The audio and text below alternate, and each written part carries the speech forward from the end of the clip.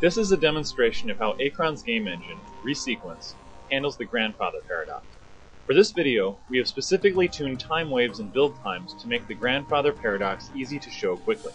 Remember that paradoxes like this are rare in actual gameplay, unless you cause them intentionally. In this demo, you will see the oscillations of both outcomes of the paradox on the timeline and on the field. We begin by creating a mech with the factory. Note that the green on the timeline shows when the mech was created.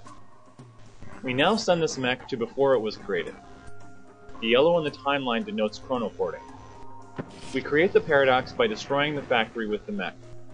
The red on the timeline shows the destruction of the factory.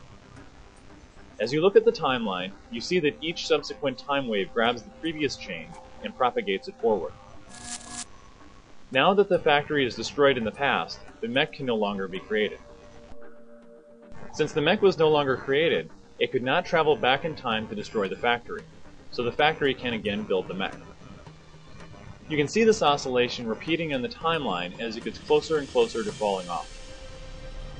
Looking at the field, you will notice that these subsequent time waves keep changing the outcome, alternating between the two paradox states, with either the factory surviving or the mech surviving. If the mech jumping to the past is the last event to be propagated by a time wave, then the factory will survive because the mech will have jumped beyond the edge of the timeline.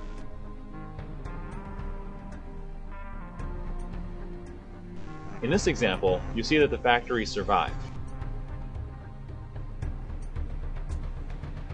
We will now repeat this paradox again with different timings such that the mech will survive instead.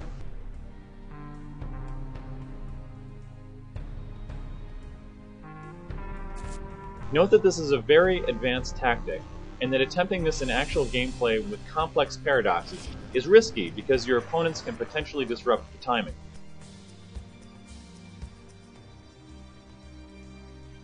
As these oscillating events fall off the timeline, if the destruction of the factory is the last event to be propagated by a time wave, then the mech will survive and the factory will not. Now let's wait for this outcome.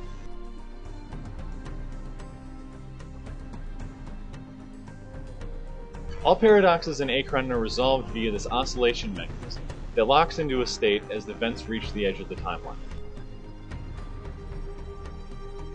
As you see, the result of this instance of the grandfather paradox was resolved with the mech surviving and the factory being destroyed. For further information on paradoxes, please see our frequently asked questions on achrongame.com.